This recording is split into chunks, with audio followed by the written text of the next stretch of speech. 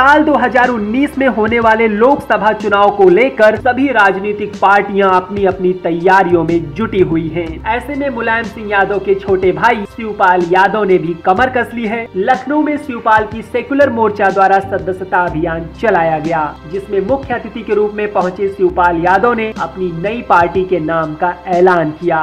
उन्होंने कहा की नई पार्टी का रजिस्ट्रेशन चुनाव आयोग में हो गया है और पार्टी का नाम है प्रगतिशील समाजवादी पार्टी। लोहिया। इस मौके पर कई दलों के लोगों ने शिवपाल यादव के साथ मंच साझा किया और सैकड़ों लोगों ने शिवपाल यादव की नई पार्टी, प्रगतिशील समाजवादी पार्टी लोहिया की सदस्यता ली। लखनऊ में आयोजित सदस्यता अभियान में शिवपाल यादव ने केंद्र और प्रदेश सरकार पर जमकर निशाना साधा।